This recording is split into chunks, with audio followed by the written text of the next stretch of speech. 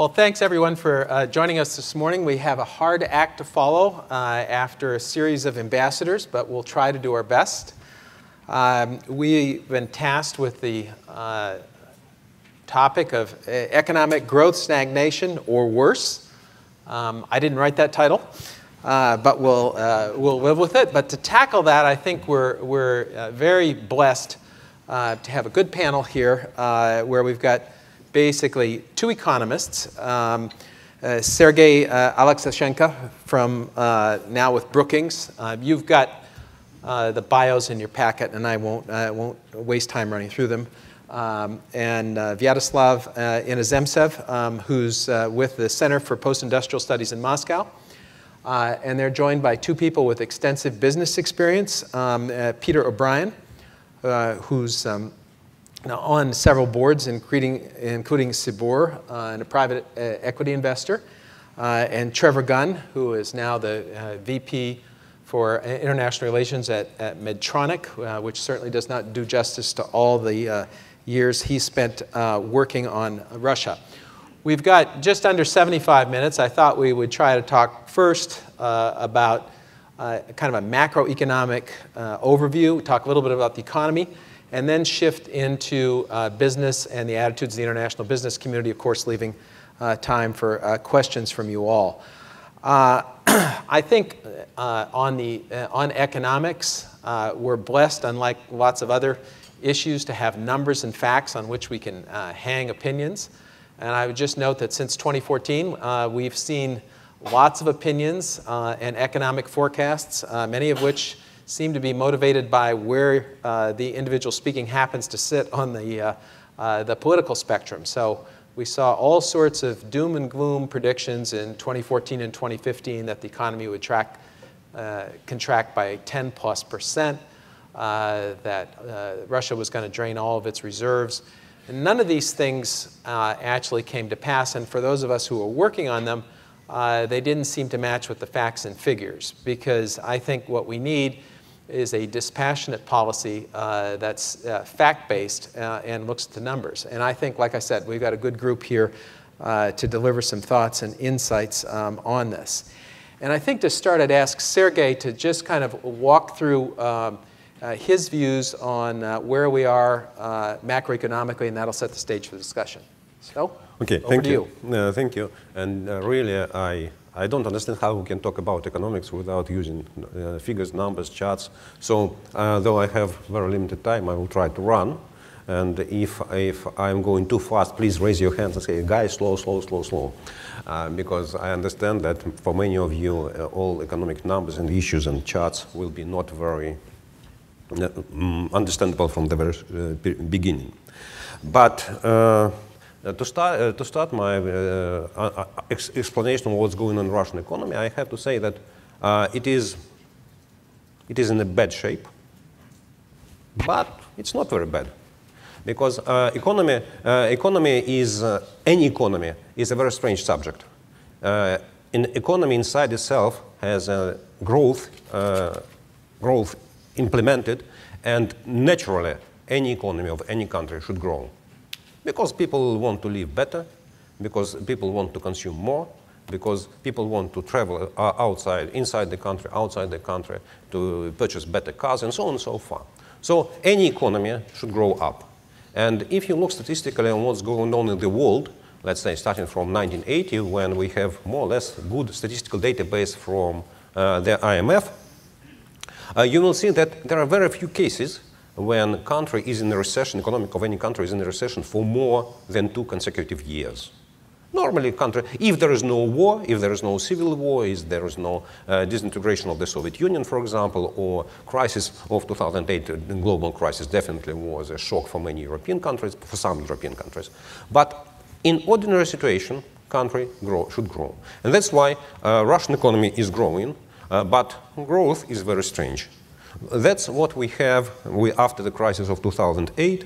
Uh, by beginning of 2011, Russian economy recovered uh, virtually to pre-crisis level. But nevertheless, immediately after that, the growth rate started to decline. And uh, in the middle of 2014, uh, before the most severe sanctions were imposed, when oil prices were $108 per barrel, Russian economy stopped to grow. So we can say, okay, sanctions, we can say oil prices, but nevertheless, it stopped to grow before that. Two years, eight quarters of consecutive recession, and once again, recession is over. And start, Russian economy started to grow. And I would say growth is, uh, after that, is slow. Norm, it is below uh, well below 2%, while the global economy is growing 4%, and Russia is an emerging country, should grow 4% plus. I don't know, 4.1 or 4.5, but nevertheless, it should grow more than 4%. Uh, growth is unstable, and to my understanding, growth is significantly statistically driven. Uh, I, I, know uh, not a lot, but I know many things about statistics, and I understand that any revision of statistical data may change the previous data. But in Russia, statistics uh, is done in such a way that any revision make you, give you better and better picture. So whenever it is revised, investment, construction, uh, uh, industry, GDP, households incomes, any next revision provides you better and better picture. So uh, I cannot understand how the growth can be, can be such, such, unstable as we have uh, after mid-2016, but nevertheless it happens. What is the price? What is the price of the slow growth? On this chart, uh, you see I have two lines. First line, the upper line, is 4% growth per year. That is, let's say, Russia should grow, in my understanding. The green line is 2% growth.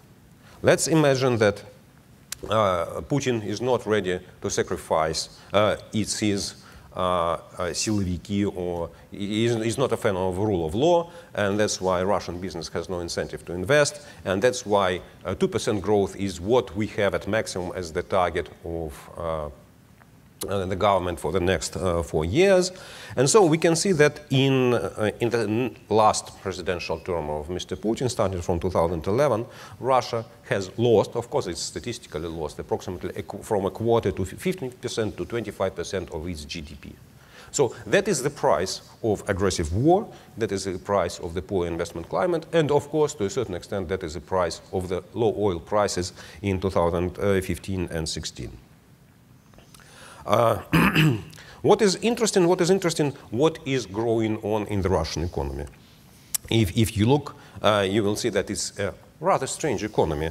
Uh, this is uh, the green, uh, green, green columns is accumulated, accumulated share in increase of GDP of different sectors of the economy. And you see that the biggest impact is wholesale trade. Wholesale trade in Russia is uh, oil prices, oil prices, metal prices, because a huge chunk of profits and turnover of these companies is uh, of holding companies is registered in the wholesale. Then we have processing, okay, it's a military sector. Then we have transportation and storage, that means it's pipelines, it's uh, coal transported by railways. And then we have mineral resources, once again, oil and coal. And then what is really strange is uh, financial industry. I, I can understand coal. There is a big demand for coal, Russian coal. Russian oilers do all their best to increase oil production even under agreement with OPEC. But how can uh, financial sector in Russia provide 9% of increase in GDP in two years, while we have an epic failure of the banking supervision that resulted central bank invested 2% of GDP in order to save for private banks. So I, I, I cannot imagine. I, in, my, in my mind, it's, it's, uh, it's a great mystery how we can combine a, a tremendous losses in, in, private banking sector that are accepted by the central bank balance sheet, and at the same time, the financial sector may provide increase in GDP. And that's why I say that it is really statistically driven. But after that, after the financial sector, uh, we have government and defense, and all other sectors, okay, they're next to nothing. So it's really a very strange economy where we have okay, na natural economy. You see, natural resources and commodities is the backbone of the Russian economy, and it's not surprising. So nothing strange, nothing new, but it is backbone that continue to, um, uh, to benefit the economy. Why, why do I believe uh, that Russian uh, economy is rather stable today? Uh, first of all, uh, despite all what we can say about Mr. Putin, about his economic doctrine, about nationalization, about lack of privatization, so on, so on far, Russian economy is a market economy. It is based on free prices, and that is the most important factor. If you want to see what happens with non-market economy, look on Venezuela. And that is the economy that was market 10 years ago with free prices, with relatively free exchange rate. Nowadays, Venezuela is in tatters, not Russian economy.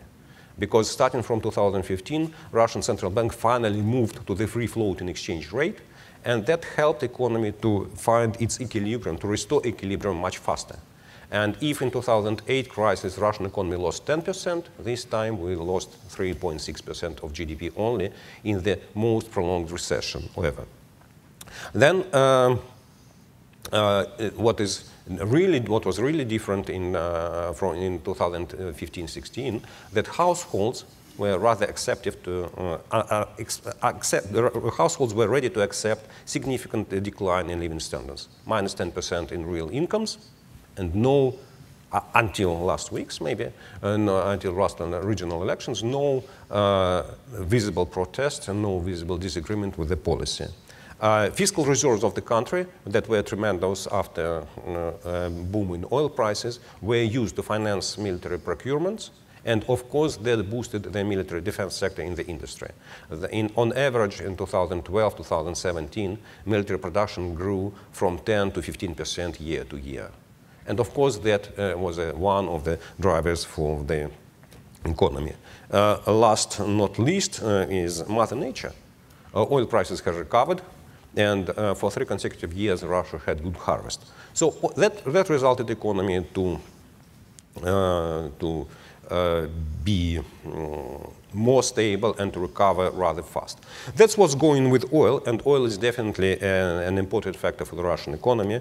Uh, and you, you see that uh, oil prices started to recover as well as ruble uh, is very correlated uh, to, to, uh, to, the oil price and uh, in the uh, last weeks when we see oil prices coming up to $80 per barrel, okay, it's mean, it means that the macro, macro stability of the Russian economy, balance of payments, exchange rate, budget, they're all in very, very good shape.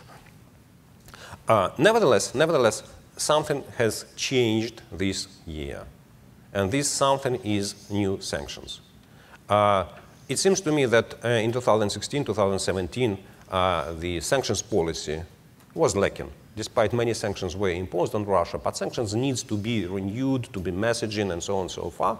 And started uh, this April, a new wave on sanctions was very unpredictable. It was unexpected, and it was very strongly concentrated on one particular businessman who lost many of his opportunities, and Treasury, it's Oleg Deripaska, and Treasury continues to press him. And that resulted that uh, in a very unusual situation when oil prices is going up, while ruble exchange rate is going down. So no, it's, that, is, that is the price of sanctions in the current run. It, it, it, we haven't seen, once again, we haven't seen this in the previous years. You see this, this very, very strong correlation between oil price and uh, ruble exchange rate. Nowadays, situation has changed. Is it is it long-run factor? Is it uh, short-run factor? I don't know. Nevertheless, in November, in the end of November, the new wave of sanctions uh, linked to the use of chemical weapons by Russia in the United Kingdom will be imposed. And who knows what happened that, time. And uh, usually December may be the new months of some uh, financial turbulence.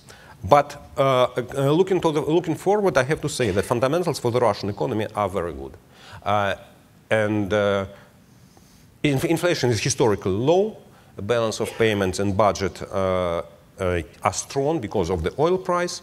A government is able to increase its fiscal reserves. The new budgetary rule is very strict, and the government is consistent in uh, fulfillment. In this fulfillment, all uh, budgetary incomes with oil price above $40, $43 per barrel is going to reserves.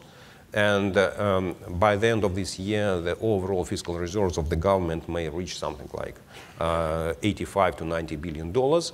And if we remember that in the previous cycle, when the economy was in recession, Russian Minister of Finance used approximately 15 billion, per, of, 15 billion dollars per year, that means Russia will have reserves for another five years of recession.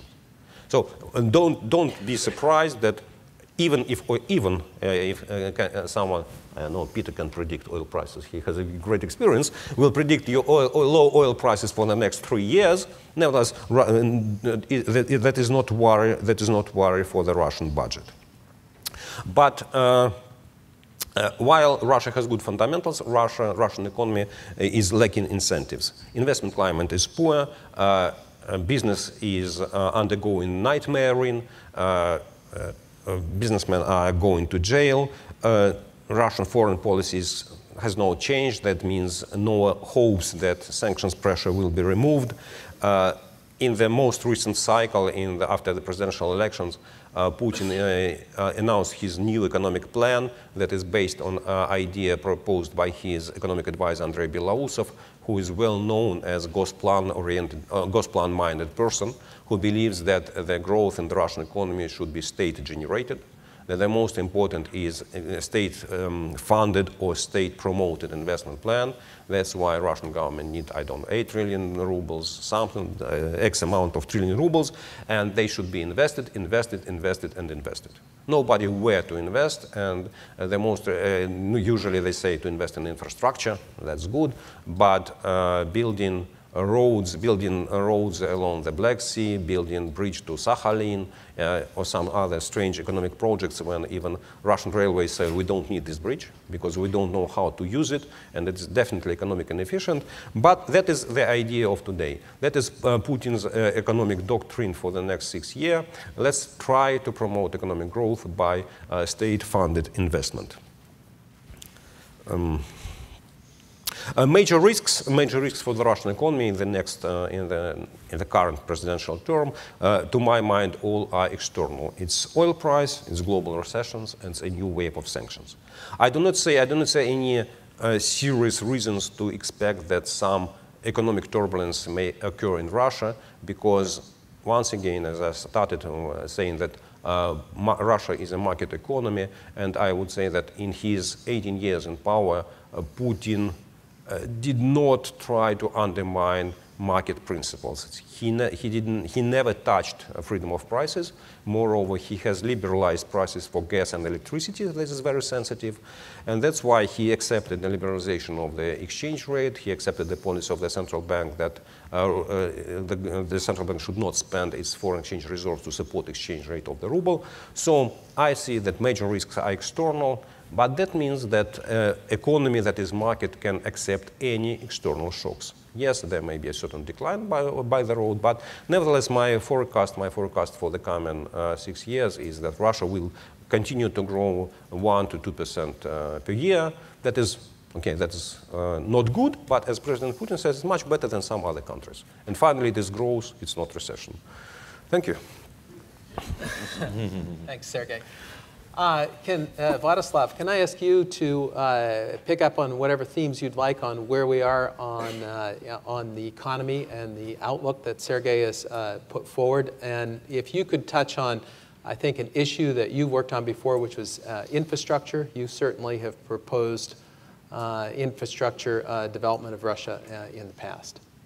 Okay. Okay, thank you so much, and thank you all for inviting me here.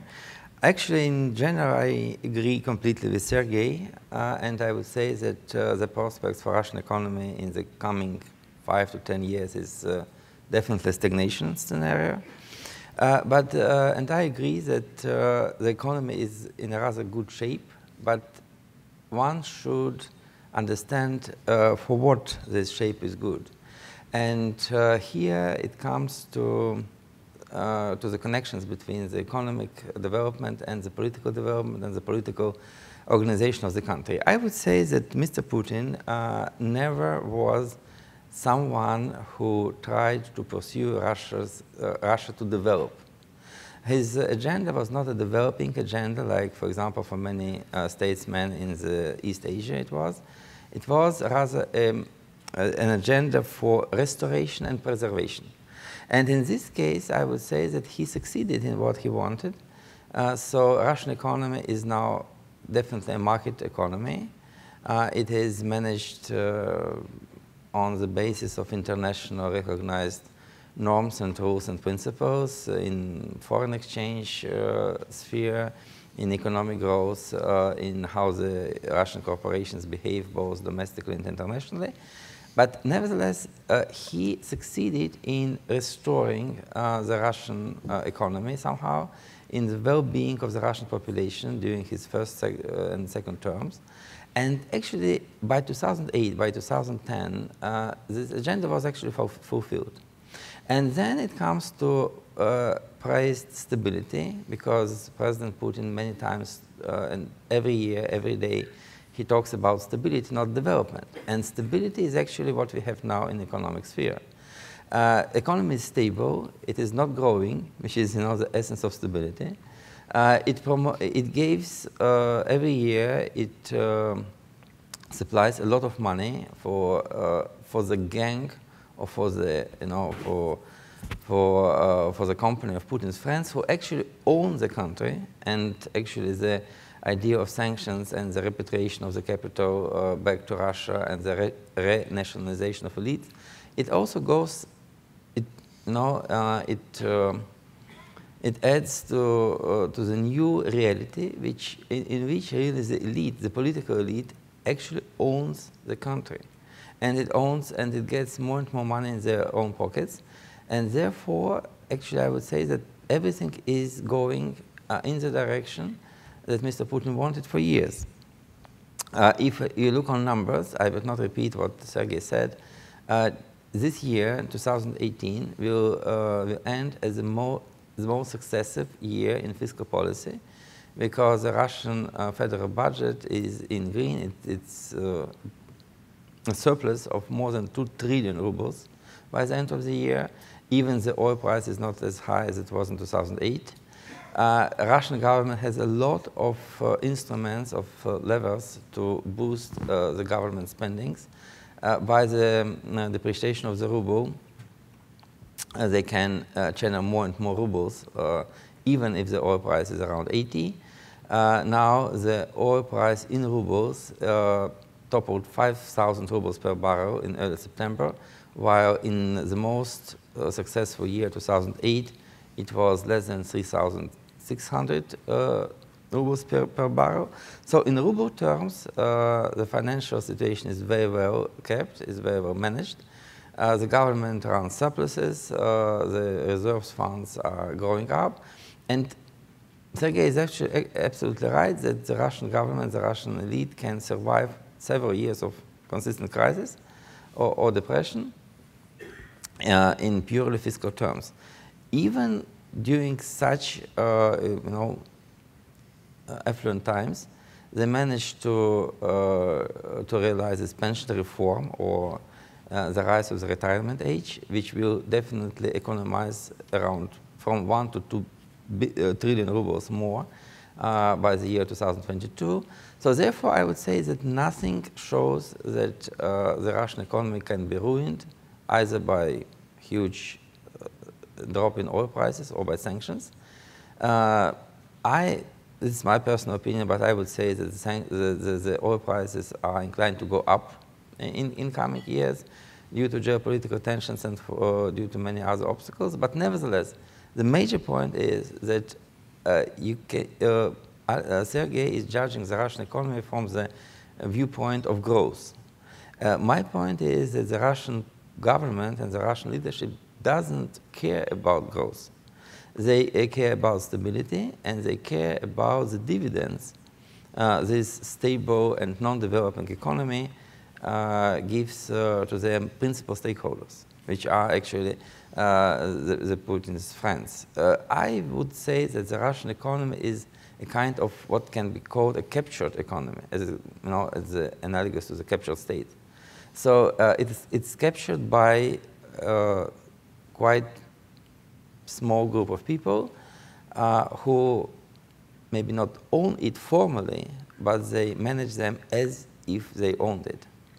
And so therefore, I would say that uh, the idea of development is not present. No one cares about the, uh, the business climate and the investment climate because it's also not, not, not, not very necessary to, to, to think about it uh, if the main investor into the economy is the government. Uh, as it was mentioned, uh, the economy is growing uh, not due to the rise of uh, uh, industrial sector as it was, for example, in once again East Asian economies, but first of all due to the state-owned sectors, the oil, the oil sector, the state-owned military industrial sector, the infrastructure projects, and so on. And so what we are now witnessing is uh, the emergence of a classical corporate state and uh, what uh, Mr. Belousov has done with the uh, profits of uh, processing companies and chemical producers this summer was a good example of it. So you don't have a rule of law. Uh, you don't have. Uh, you shouldn't care about the investment climate. You just care about control, and you emphasize that everything uh, in the economy actually belongs to you. The major difference between uh, the Russian economy of early 2000s and the Russian economy of early 2020s, I would say, is that the oligarchs and the state uh, bureaucrats uh, in the former times, they profited from the financial flows which originate from either oil prices or oil, oil sector or um, a federal budget. But now it's a huge shift from benefiting from the flows to actually trying to own uh, the economy and the big parts of the economy. And now we have this day of, of, of. We have this uh, maybe, it's not so significant now, but it may, may become even bigger, the repatriation of the capital. And ev on every level, uh, both the bureaucrats uh, and the businessmen, they try to have a grip uh, on the local, uh, local based assets because definitely the position in the outside world becomes more and more insecure. So my point will be Yes, uh, the second point is uh, that uh, is this economy normal or is it not normal? Uh, Sergey said that it's normal, it's market-oriented economy and so on. Uh, Ambassador Collins said that uh, it was a discussion about Russia's normality in early 2000 and now many people consider it's abnormal. I would say that I don't like this discourse at all because my point it's not about it's normal or abnormal, uh, but more about is it contemporary or is it non-contemporary? Is it unmodern? Because uh, what is Mr. Putin is doing, both in economic and political terms, from my point of view, uh, he is taking Russia out of modern times, out of modernity, and bringing it back uh, to, which, uh, for example, in uh, in Europe there is uh, author, which is his name is Richard Robert Cooper, uh, uh, who talks about uh, the world divided into pre-modern economies or pre-modern polit political entities, modern and post-modern. So Mr. Putin is trying to take Russia from modernity to pre-modern times. And uh, one of uh, the distinguished ambassadors who participated in earlier sessions, session, he said that, uh, I don't remember who, who, he was, he said that Russia never experienced the borders uh, in which uh, it is stuck now. But no, it's, it's not true. It was in 1650 and uh, all the political institutions of the country, from you know, the Institute of Kholopstvo uh, to the Sobornoye Ulozheniye of 1949, uh, uh, to the uh, significance of Siberia and fur trade and oil trade, it very much resembles the Russia of 17th century before the reforms of Peter the Great. And this is what Mr. Putin wants to Russia be like these days. It, want, it wants to be not like Europe, not like the United States, not like the developed world. It it takes it back in all possible terms, in economic, in political, and in many others. So uh, what I, I, would say he will do in coming uh, years, uh, as I see it. Uh, first of all, it will, uh, he will you know, drastically diminish and limit the social, uh, the, the, welfare ex expenses, like the pension, pensions reform. it will more and more, uh, the Kremlin will push more and more social-related uh, expenses to the regions, uh, which they, I would say, will not be able to to exercise in full shape what Russia is doing in, in the terms of you know, infrastructure development, it's, I would say, Mr. Putin is marking uh, the limits of his realm, of his territory. For example, if you look on the infrastructure in Russia, you will see there is no high-speed railway from Moscow to St. Petersburg till now. There is no, you know, good roads any, anywhere in the country except Moscow, maybe. But at the same time, you have these new ports in Ust-Luga in St. Petersburg. You have Nord Stream 1 or 2 and 2. You have bridge to Crimea. You have new Olympic venues in Sochi. Uh, you have some clusters in Chechnya. You have new space launching facility uh, in Khabarovsk district, in Khabarovsk region. You have uh, this uh, program of redevelopment Vladivostok and the bridges to the Ruski Island, then the bridge to Sakhalin, uh, the reconstruction of Trans-Siberia Railway, and then the Northern Sea Passage. Everything is on the borders. There's nothing done uh, in the middle of the country the most you know, uh, poor regions are concentrated around Moscow, maybe two, 300 miles from it. But on the borders, it's like you know, an investment boom, while Mr. Putin wants to show that this is our territory. This is, you know, this is ours. Here we control this. What is go going up in the middle of the country, uh, he doesn't care because he is obsessed with the idea of sovereignty, with the idea of zones of influence, with the idea of you know, making Russia, uh, Russian uh, borders strong. So my point is that we are now in a period which will not bring us and not give us any kind of, you know, new developments. Uh, I, I'm absolutely sure that Mr. Putin is present for life. Uh, and uh, that he will survive all these, you know, uh, irregularities caused by these uh, recent elections uh, quite well as, as he survived uh, the problems of 2000 and the popular protests of 2011, 2012. Uh, he thinks that uh, the state-owned economy is the best one economy one can imagine, and he has no any, you know, no any causes to, to change this course uh, he developed for years. Yes, he, he may be not very happy because of the sanctions. He may be not very happy because of the economy produces less money than he expected, for example. Uh, and uh, there is some kind of dissatisfaction, popular dissatisfaction because of the drop of the uh, living standards. But nevertheless, he cannot change everything because, once again, I will repeat and I will finish by this, he is not a visionary. He uh, has no idea for developing Russia. He just has an idea to preserve uh, what he lost, what he thought it was lost in the 80s, uh, 1980s. And so in this case, he's quite successful. Uh, first of all, his, on his own mind, maybe even in general. And that's why we will not see any, any, any kind of changes. Russia will muddle through with uh, growth rates around 1%, nine, with three quarters of this 9% just make, uh, made by the statistical agency and, and nothing else. Uh, and actually, I cannot see any, I would repeat, any uh, sources of uh, changing these trends except of a global financial crisis which can arrive in two, three years from now. But from domestic uh, points, I actually uh, would reiterate uh, Sergei's point that Russian economy is stable, it's strong enough to survive a lot of internal shocks, and so Mr. Putin can feel himself quite safe. Thank you, Vyacheslav. so that gives us, you know, part of the picture uh, viewed by economists uh, both inside uh, and uh, outside Russia.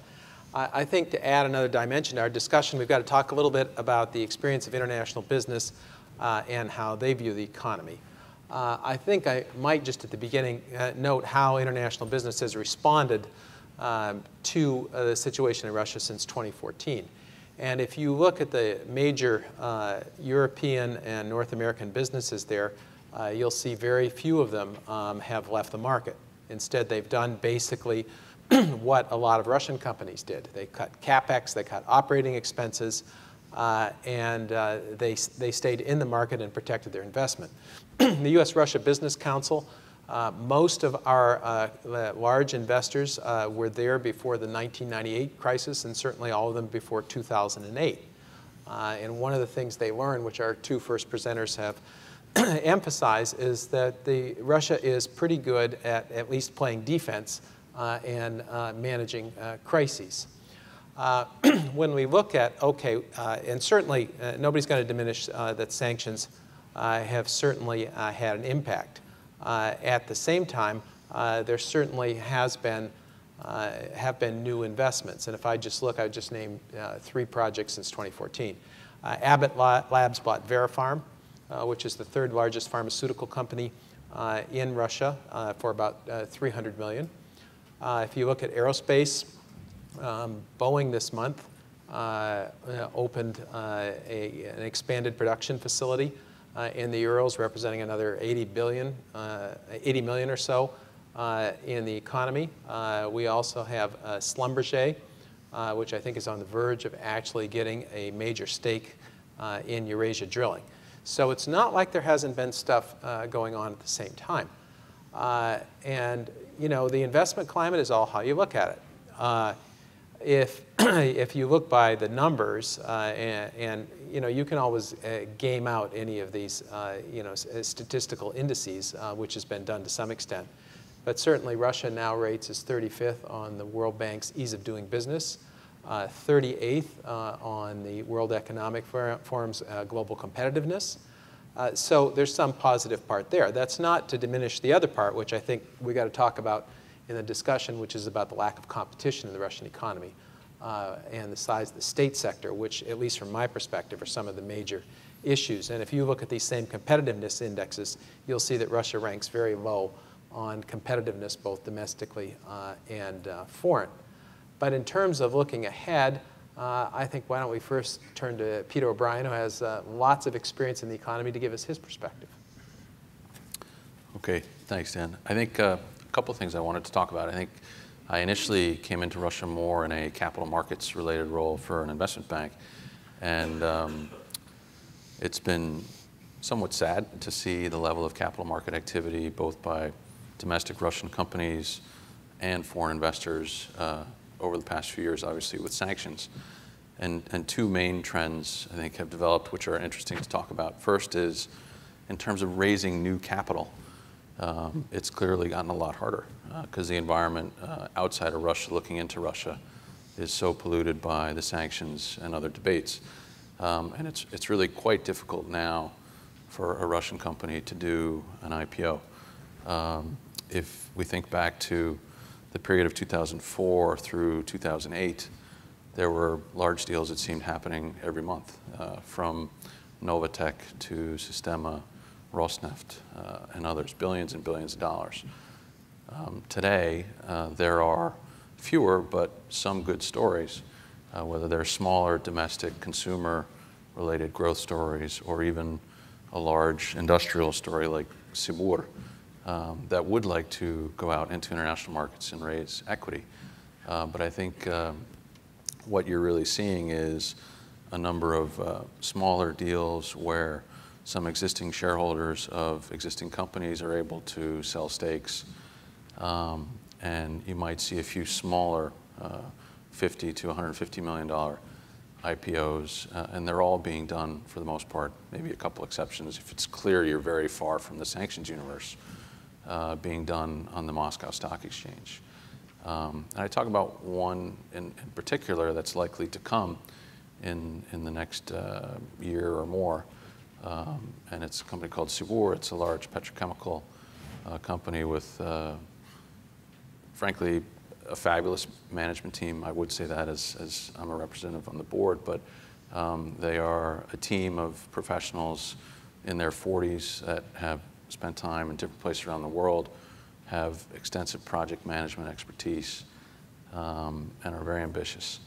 Um, and they have been evaluating a potential IPO for some time, and it's clear to them uh, that there would be great interest, including from the fidelities and capitals of the world, but because of the sanction environment, uh, would likely probably have to do it only through Moscow, which would mean the, the deal might have to be smaller and the valuation might be different. Um, Second uh, point I'd like to talk about briefly is share buybacks. And ironically, I think when many of us were involved in, in the development of capital markets and, uh, in Russia in the 90s and 2000s, we would have all said that you know having a more diversified ownership base, um, including international investors, would be a good thing for the growth of any economy. Uh, ironically, everything that's happened in the last couple of years is resulting in many companies choosing to uh, consolidate ownership of their shares, to buy their shares back uh, in the marketplace because their companies are so lowly valued by international investors. And they also have some excess liquidity because uh, the economy has stabilized, that they're buying their shares back. And uh, you're seeing many companies now announce this over the last six to 12 months, which means you know, the consolidation of ownership and ownership mentioned uh, just a few minutes ago uh, by the elite, if you will, is just becoming more concentrated, which uh, is, is ironic. And then the, the, third thing is I'd just like to talk a little bit about projects. I think, um, and Dan already mentioned a couple, Boeing and, and some others, but I think it's in my time there, it's, it's become evident to me that there's a growing group of professionals in Russia who have experience either overseas or with Russian companies working with um, uh, potential uh, subcontractors or others that can help them execute large capital projects. That's the first thing. Secondly, I think the environment, uh, whether you're a Russian uh, company or a large international investor, I think is much better uh, today. And if you are willing to come with capital and have a plan to invest um, and provide jobs and contribute technology that is not sanctioned risk technology into the Russian economy, um, I think today you'd be really amazed at how well you'll be received both at the senior federal level but also at the local regional level. And it's much easier to navigate getting something done, uh, whether it's because you can find lawyers and you can find folks that um, drive your, your path into the relevant government approvals. Uh, and I don't mean that in a bad way. I just mean it's a, it's a good, a much better conversation you can have today than we would have seen uh, 10 to 15 years ago. Um, because these regions and Russia generally needs this investment, needs the jobs, and they've figured that out. So coming in uh, with a project to do, I think you'd, you'd be surprised at how warmly uh, you'd be welcomed. Thanks, Peter. Trevor, you've certainly been involved in this market since we were there uh, together in the 1990s. Um, could you give us your, your thoughts on uh, keying off kind of what Peter said about uh, where things stand today and sort of a snapshot in how international business looks at the market? Right. I mean, Dan, it's been been quite a ride, depending upon where you are and particularly what in industry you're involved in. And I think that's, you know, uh, perhaps the most uh, important thing is, I mean, there's some generalizations that can be made, but it really uh, makes a big difference, you know, sort of where you are, what your strategic position is, what your strategic appetite and long-term vision is for the country as well. Um, uh, most people don't know my company, but uh, Medtronic is the world's largest medical technology company. Uh, we make about 168,000 medical uh, technologies. Um, we're large and, and, I would say relatively new to Russia. Uh, we were not that active in the Soviet times. Uh, but we definitely, uh, I would say that the, the medical and the pharmaceutical sector, to give uh, two, uh, I'd say relatively relevant examples, have been relatively unscathed. Um, I talked to my colleagues in the pharmaceutical sector, and I talked to my colleagues on, in the medical technology sector. Um, yeah, generally speaking, the, the, the, story is one of relatively stable seas. Certainly, there, you know, there are bumps in the road and that type of thing. But you go to other sectors, uh, of the economy.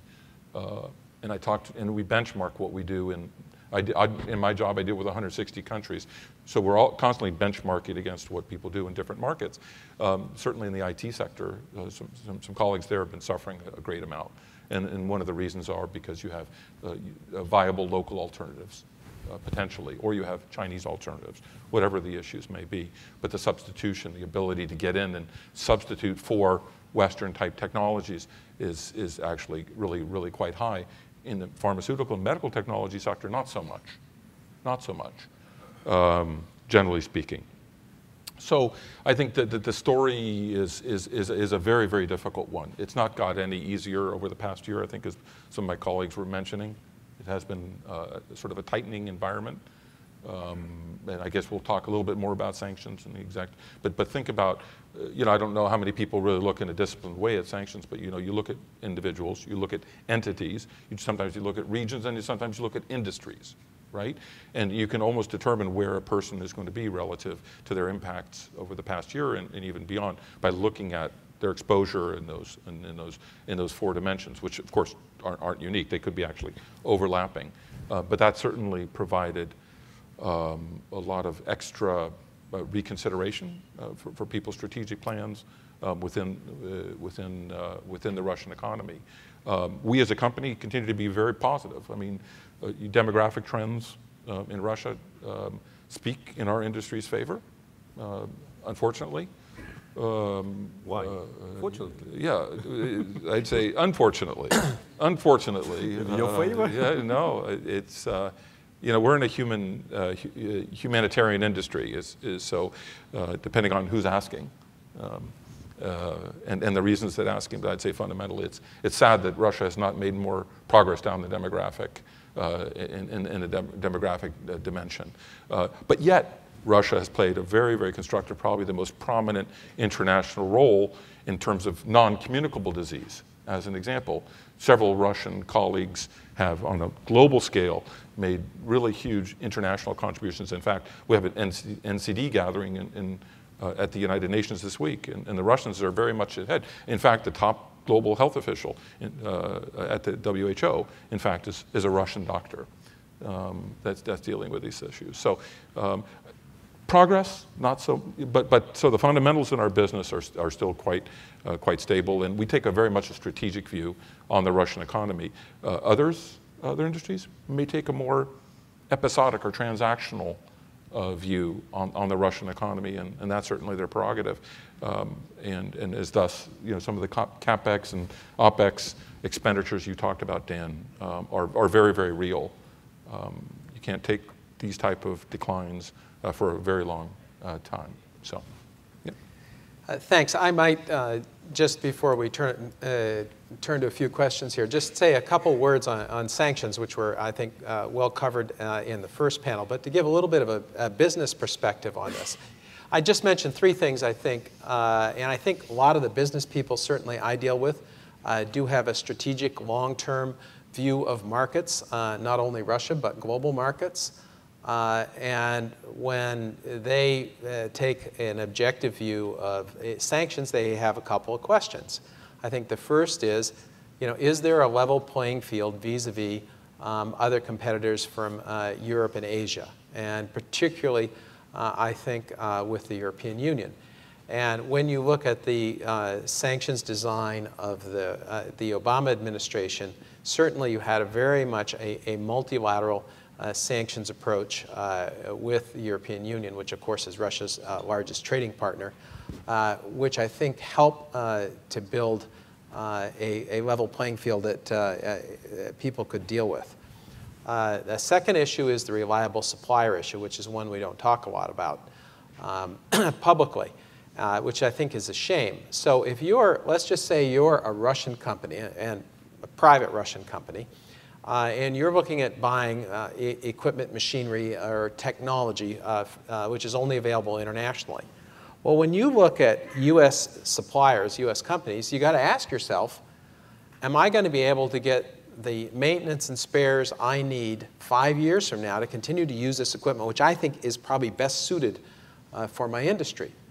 Or am I going to try to diversify my fleet of vehicles or technology or computers uh, and add in some Asian and European mix as a hedge? And the latter is what a lot of people are doing. So when we talk about unintended consequences of sanctions, uh, that's certainly part of it. The other thing is people have kind of a long-term perspective.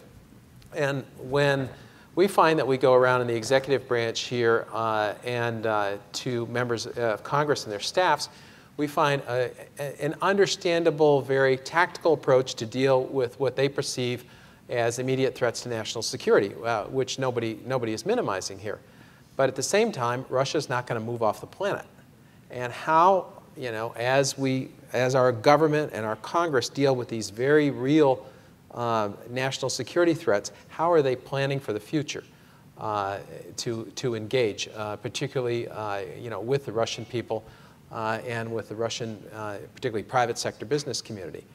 And when I see issues like, for instance, uh, privatization, uh, which one of the uh, provisions of CAATSA basically uh, prohibits um, uh, U.S. persons or entities from uh, participating in, uh, in privatization, what that means is it's probably going to slow down the growth of the private sector, which I think we all, uh, I, I don't even have to ask, everybody thinks is a bad thing, uh, given how much of the economy is in is state hands.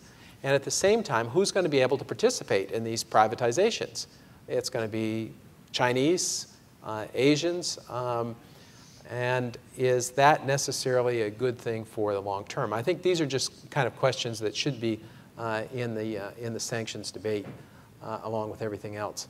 Um, but I'd just like to ask uh, one question to our economists and then one to our businessmen. And the first one, I, I think uh, Sergey and Vyacheslav, you very, uh, very well covered in a short time as sort of the economic outlook. Uh, but the, the question is, what about consumers? What about you know, ordinary Russians? Uh, we all know that the extractive industries have provided the main source of revenue. But when you had that big bump in growth during uh, President Putin's first term and thereafter, you had a big growth in consumer confidence uh, and consumer-driven growth.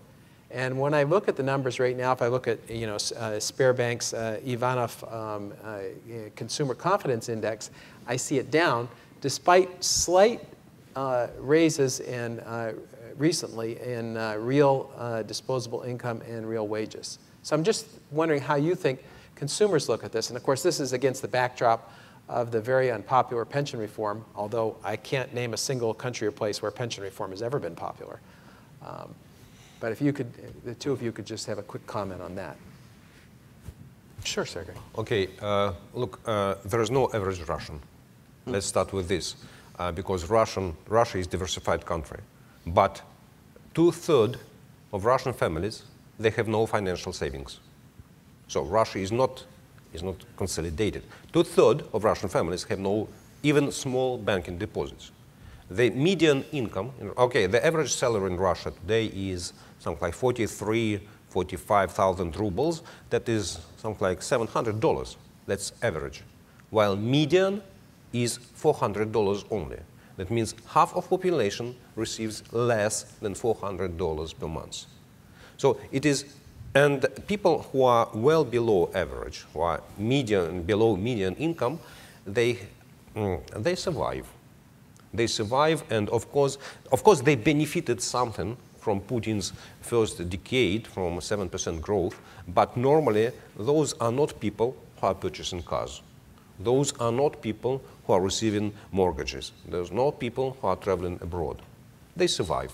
They survive in Moscow, not a lot of them. They survive in, survive in Chukotka, in Khabarovsk, in Vladivostok, and all over the country. So uh, when we say that, yes, the decline in households' incomes during the last recession was strong enough, 10%, and it was bigger than even in the crisis of 2008, that's true. That's true, but once again, it was not dispersed equally. For example, the consumption, the, the sales of new cars declined twice you know, 50%, that means, okay, people started to renew their cars not every three or four years, but every five or six years. Is it really decline in living standards? No, it's a decline in consumption.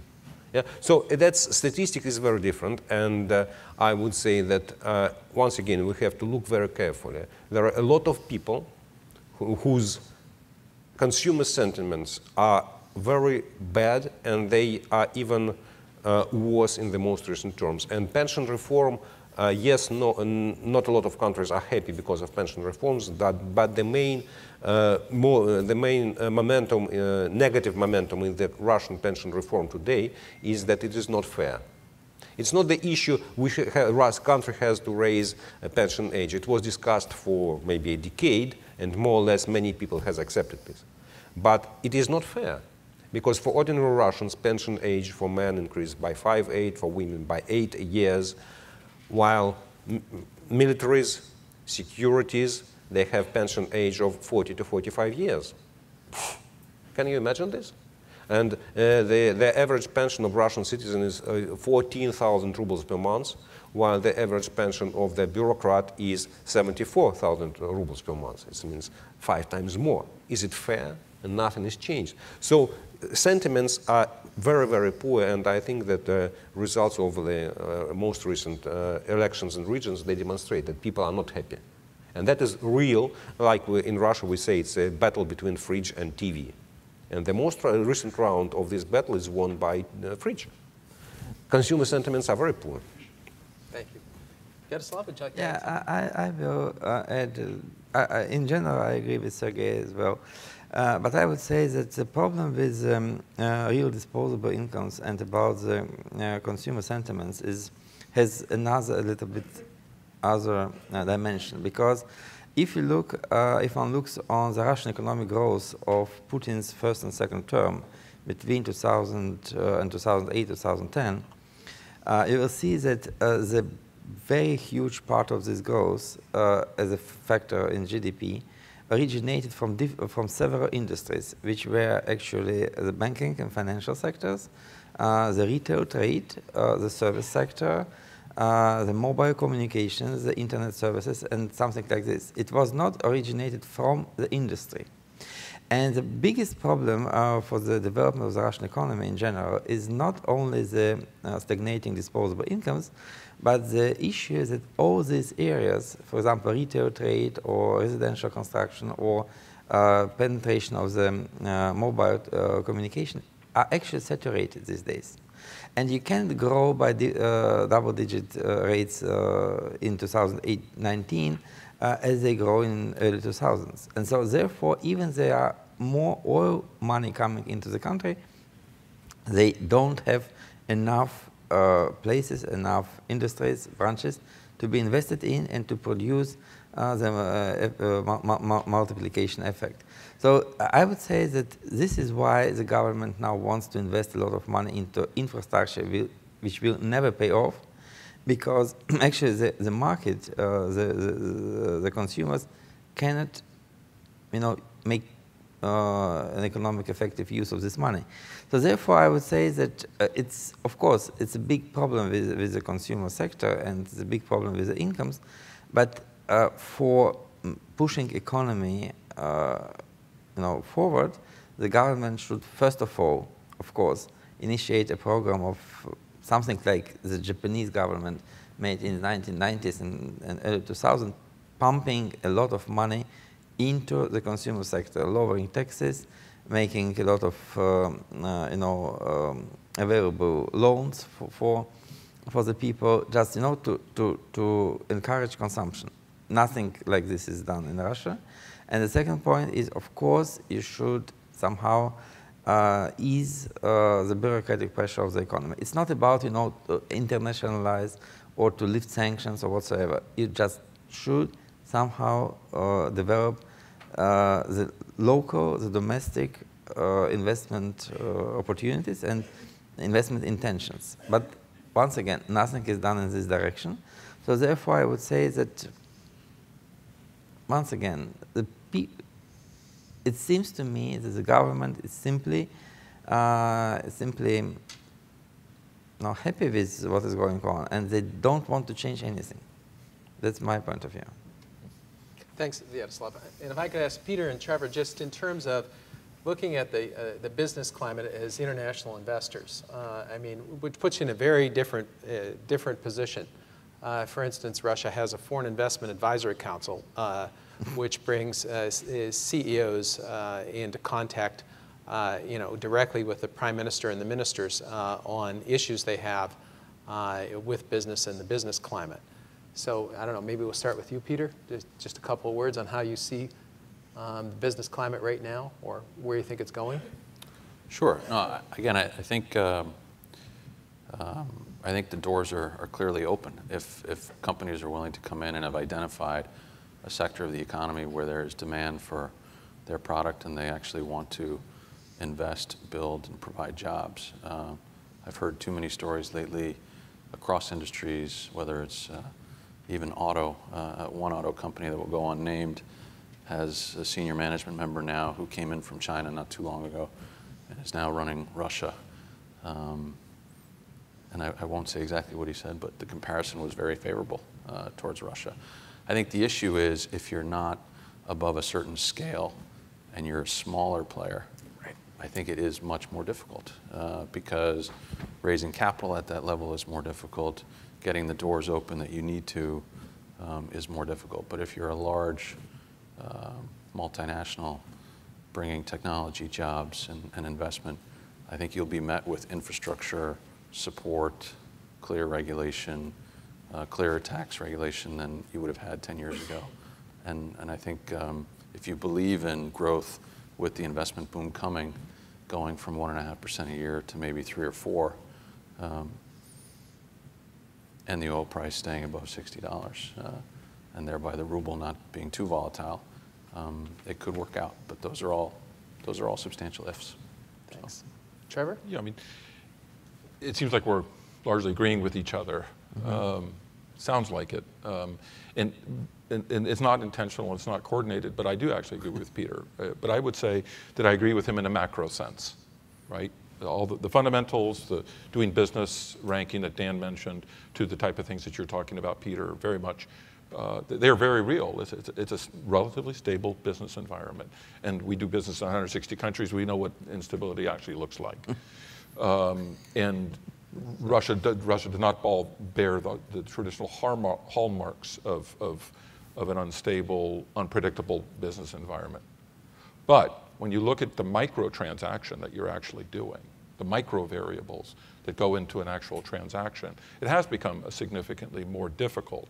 I'm not saying it's, it's not something we take any joy in, but you start with sanctions, you have to do counter, you have to really know your partners in a way that you never did in the past. You do significantly more due diligence in terms of holdings, cross holdings, so that you don't run afoul of, of US or, or, Western uh, law, as an example. That takes a tremendous amount of commitment, often a lot of capital, and you still don't necessarily always have the, the, the answer that your board actually may feel comfortable with. So that's, that, that is a different layer of scrutiny that is now in place that, uh, I mean, uh, you know, obeying US law is not an option for, for most publicly quoted companies. And uh, it, we are one of those. Um, uh, it, you know, I would also just simply say that it's, it's very difficult with the headlines in the United States as they now are to get people actually aligned to your business plan. You're going to get a lot more questions from a lot, you're going to get them from senior management in your company. You're going to get them from people inside and outside, outside of Russia. You're going to get them from shareholders that you didn't actually expect. Um, and, and that is, you know, makes life just a little bit more difficult to make that case.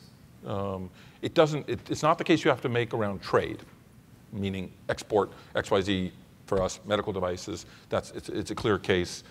Customs, get it through customs it's, it's not long-term in nature. But when it comes to the larger, larger and strategic things that we would like to be doing in Russia, it certainly has become uh, more difficult. It doesn't mean that we're not committed. We certainly are committed. But, but nonetheless, that's you know, the extra layers of, of things that we need to go through as companies that you know, we wish we did not um, have to go through, but we do. Thanks. Why don't we, in the time we've got remaining, open it up uh, to questions here. So, yes, sir, right in the front.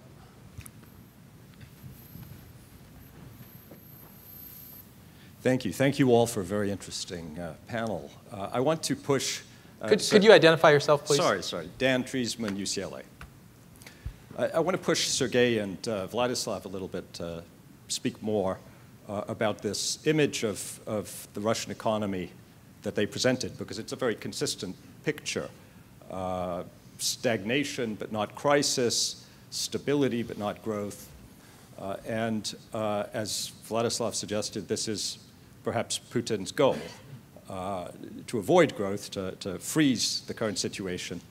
Uh, and, and the real uh, point is to continue extracting rents uh, for Putin's friends.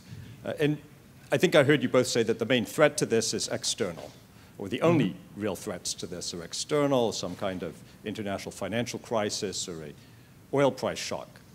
Uh, but as a political scientist, uh, familiar with literature which shows that low economic growth uh, tends to increase the odds of overthrow of the leader in an authoritarian state. Uh, of course, there are exceptions, but there is a general pattern. Falling incomes or uh, slower growth of incomes associated with more protests. Uh, we've talked a bit about the pension reform. Could, could we kind of get to the question? I'm, I'm sorry, we're a little short on time. Yes. No, uh, well, my question is Has Putin missed something? Uh, is this a stable political uh, strategy as well as an economic strategy? Mm-hmm. It may be unfair to, to ask you to talk about the politics. We'll get to that this afternoon. But uh, what do you think? Uh, I, I, think Putin has no strategy, neither in economics, neither in foreign policy, neither in domestic policy. Putin has his own, as he sees, destiny. his destiny to be, he's a Messiah. He's a Messiah sent by the Lord to keep power in Russia, to rule Russia, and to transmit what God sends to him to the whole Russian population. That's his, that's his vision of himself. He is rather tired of being leader of the country. He doesn't listen to a lot of people who doesn't want to meet with his ministers. And he, uh, I, I disagree with Vladislav that when he says that current state of the economy is Putin's goal. Putin has no goal. Putin has satisfaction or dissatisfaction with the economy. Uh, let's imagine he, all his troubles, US, Syria, Ukraine, protests, and so on and so far, you have 5% of your time dedicated to economy. And you have the only one question that worries you. Do you have money in the budget? If yes, there is no problem. In his previous 18 years in power, Putin has found a very easy instrument to solve economic problems, just to pay money. And it worked. It worked in 2005 when there were protests against monetization. It worked in 2008 in the crisis when he increased pensions and so on and so forth. So at the moment, Russia has huge fiscal reserves. And every, mo every Monday morning when Putin calls to Minister of Finance Siluanov and asks Anton Germanovich, do we have some funds? Yes, we have, Vladimir Vladimirovich. How much? As you wish. So, and he is happy. That's the only one question. He is not worried. I agree with Vladislav. He is not worried with 2%, 5%. Of course, it's, it's not good when Russia is in recession. But 2% is okay because we have plenty of money in coffers. So that's his economic vision and he don't care about anything else. Yeah, I, uh, in responding to your question, I would say that uh, I differ, my, my approaches differ a little bit, differs a little bit from Sergei's, but in general, I would say that yes, uh, I, I, think Putin has some strategy, but nevertheless, uh, he miscalculated only one point uh, in, in current years, I would say, and this is the pension reform. Why? Because the problem is that if you look, first of all, about authoritarian regimes and about the lack of economic growth, the authoritarian regimes, they are very different from each other. And Russian authoritarian regime, I would say, is one of very few which has absolutely open borders. And uh, as, uh, as more people go out of the country which are dissatisfied, the regime becomes more stable. And uh, if, if we were in the Soviet realities, uh, in, in, the Soviet times, it, it would explode many times. But now, you can, you know, you can pump all the uh, people who are dissatisfied, who are, you know, who are, tend to take uh, a stance against the regime. You can send them abroad. They can squeeze out, and uh, the pressure inside is, is, is lowering. But at the same time, if you look on the post-Soviet regimes like Ukraine or Belarus or Russia, you, you can see that there were several attempts of re revolt or dissatisfaction, uh, as it was in the first and second Maidan, it was in Belarus in 2010, as it was in Russia in 2011, but all of them were caused by political uh, issues, by some kind of injustice uh, in, in domestic policies. And no one, actually, was caused by economic problems. Why? Because, as I am explaining, because, for example, the falling uh, exchange rate of the ruble or growing taxes or the falling oil prices, they affect everybody. And this is know, the, the idea of it's, it's economy stupid. It's, it's, it's economy and it's objective. You cannot uh, you know, abstain the, the, these issues. They, they're affecting everyone. And if something economic affects a portion of the people, this can be a, a, a devastating, this can have a devastating effect for the popularity of Putin. This was the monetization of uh, 2005, and this is a pension reform because not everybody, like for example in uh, VAT tax uh, hike, in this case everyone is, uh, you know, is affected. In pension reforms, some part of the society is affected, some part is not, and as Sergei said, it looks as it is very, you know, unjust uh, in, in, in many aspects. So this was definitely a mistake. And I never predicted this because I'm absolutely sure that if you push, if you put 150 billion of rubles, 200 billion of rubles per year into an excessive transfer to the pension fund, this is not a problem for, for your tenure. For me, for me, it's a very clear sign that Mr. Putin wants to stay after 2024, because if he hadn't have some, this intention, till 2024, the pension reform is not a problem at all. You can fund it easily. Moreover, there is, you know, the pendulum in, uh, in demographic trends. And of course, there is the effect of very low fertility in the 90s these days. But in 2000, the fertility was, uh, had, go, had gone up. And in early 20s, 30s, the, uh, the generation which will enter the labor force will be more numerous. So this is a, a, you know, a temporary problem. You can solve it by pumping more money, but Mr. Putin decided in another way. So this is actually a big fault for him, both politically and economically. Thanks. We'll cut into your lunch hour a little more and see if we can take a couple more quick questions here. Um, yes, sir. Hello. Um, good afternoon. Thank you so much for your deep insights and uh, thank you so much for being here today. Um, Mr. Dinas Butners, uh, MSFS graduate here at Georgetown and now with the American Chamber of Commerce. Uh, my question is actually kind of touches on Sergey's uh, great mystery with regards to how is it that the financial sector is contributing to the GDP of the country. Um, looking at the banking sector in particular, it seems that as of early this year, in 2018, over 300 Russian banks have lost their licenses. Uh, of the top 10 institutions, uh, four of them have been consolidated and under state control, and only one really stays totally private, and that's Alfa Group or Alfa Bank. My question then becomes, since it seems that the Russian state is moving into the financial sector, or at least two-thirds of it, and nobody really wants to say the nationalization word, does this uh, seem to be that the Russian state is trying to uh, pad the coffers, or is it really trying to see one last uh, sector of control for the Russian economy if it plays into capital uh, in terms of raising funds for finances? Thank you so much. Sergey, uh, if you ask uh, the chairman, chairwoman of the central bank, Elvira Nabiullina, is it a policy, she will definitely say says no. If you ask Mr. Putin, is nationalization of the financial sector, of the banking sector is a policy, they will say no. Nevertheless, uh, currently, three, uh, three, four, 75% of Russian banking sector is state-owned. I, I would say that two biggest, and the only, maybe the only two biggest Russian investment bank, they are owned by state-owned bank. So the financial sector is going to be more and more nationalized, and it happens day to day. To day. And that is uh, that is not an idea, that is not a desire.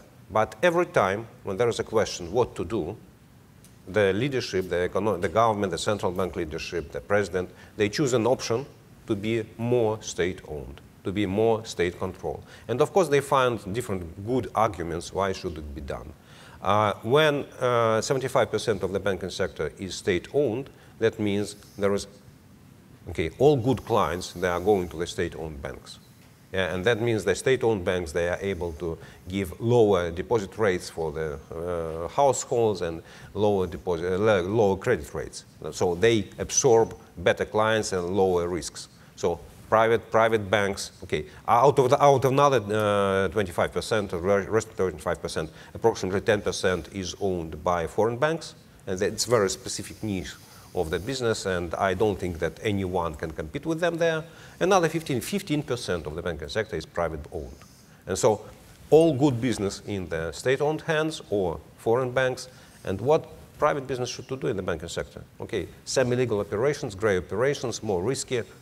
I see the future of the private business, banking in Russia. It will disappear. Mm -hmm. Sooner or later, it's only a question of time. Thanks. Um, Ariel, last question. Hi, Ariel Cohen of the Atlantic Council and International Market Analysis. In our consulting work, we're looking at uh, the Возрождение, uh, the Открытие Bank and the uh, Pромsvязь, Pромsvязь Bank. Mm -hmm. uh, there are allegations in the open sources about massive fraud uh, with up to $200 million being siphoned off overseas uh, how do you see the banking sector as the investment agent in the economy, not only as a saving uh, mechanism for the Russian population?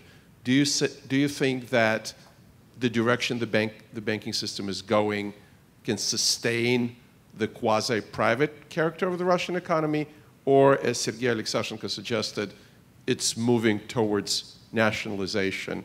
And if it does, does that mean the banking system will not be an instrument for um, capital flight and money laundering? Thank you. Yaroslav? No, is okay. I, I, I, no, like I, I must. Of course, I must start with this issue.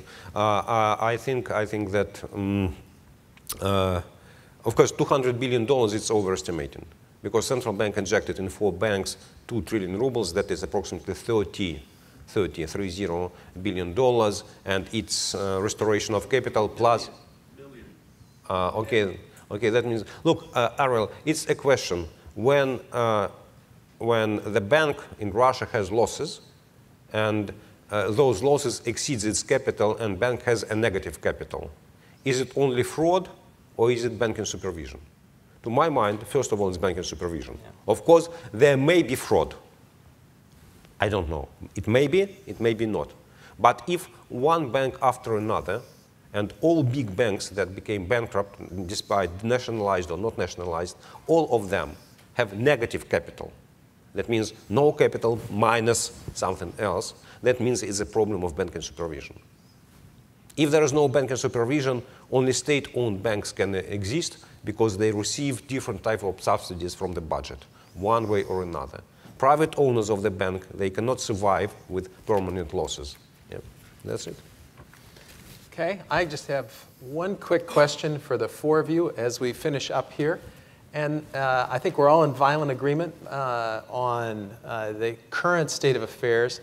So my question is, where, what could be a driver of growth uh, going forward? Uh, and I'd put forth my uh, own two cents worth that I think President Putin's Postanovlenia in, in May, his, his series of decrees, headline decrees, which could result in some estimates in $120 billion in investment, through the end of his terms in infrastructure spending is, is certainly one possibility for growth. But I turn to you. Peter, we'll go, just come right down. Dan, that would have been my first one as well. I think um, um, there's a lot to do, and let us mention this internally on roads and infrastructure. Um, and I think I, I, just myself drove the road, the new road up from Moscow to St. Petersburg this summer.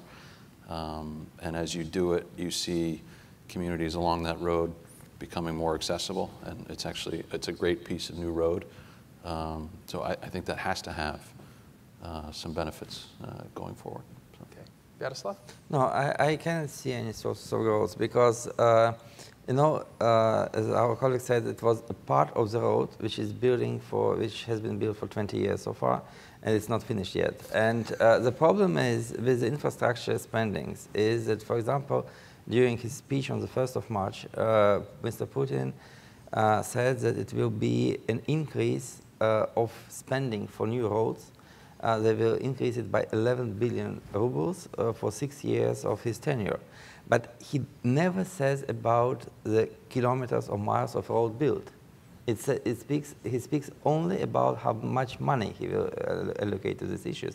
But uh, in early 2000s, the, uh, the money allocated to these issues were three, four times less than now, and the quantity and the length of roads expanded by four to five times you know, more than today.